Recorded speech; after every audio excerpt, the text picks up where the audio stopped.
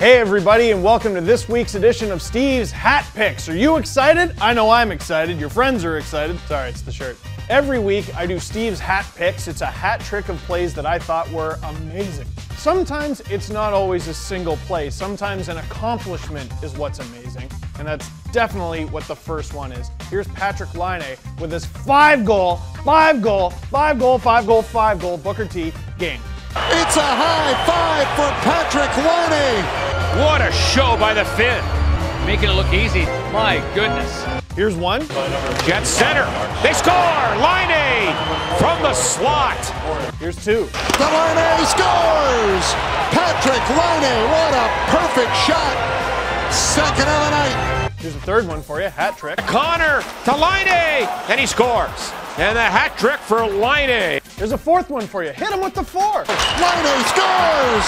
Patrik Laine, number four. And here's number five. I guess he's better. It's been the Patrik Laine show tonight with a five-goal outing. Here's a little bit of trivia for you. The last person to score five goals before Patrik Laine, Johan Franzen. I know, I wouldn't have picked him either. Five goals in one game, as Jets fans I'm sure will let you know, is more than four, and it is absolutely worthy of being in this week's edition of Steve's Hat Picks. Number two, seems like everything's downhill after a five goal game, doesn't it? But I don't think so. This is another Finn doing work. Rasmus Ristolainen with the snipe and the celly. Ristolainen on this side of the ice against Burns. Nice move to the net. He scores! What a goal by Rasmus Ristolainen! The big defenseman Rasmus Ristolainen with the move taking out Brent Burns in the process, scoring, and of course Rick Jeanneret with the beauty call. What a move by Ristolainen! He scores!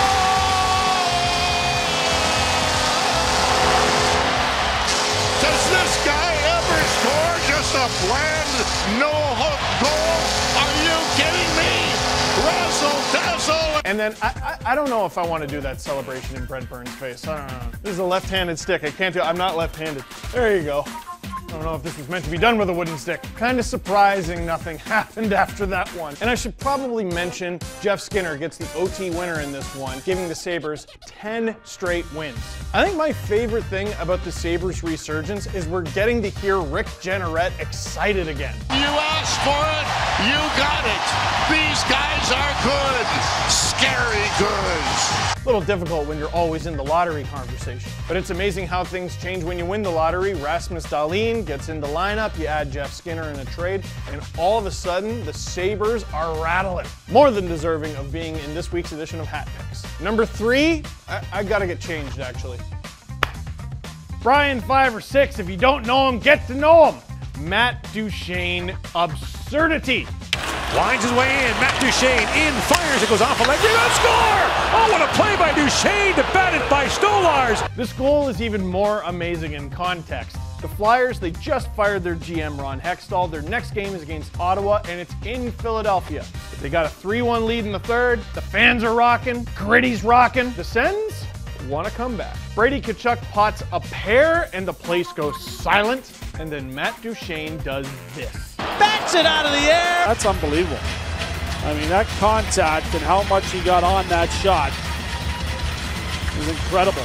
I love the celebration after because it's either a defiant, yes, I meant to do that, or he can't believe that he did that. I know Anthony Stolarz can't believe he did that, and I'm sure the Flyers can't believe he did that because the day after they fired two assistant general managers as well. It's amazing what you can do with just one goal, especially when that one goal is amazing.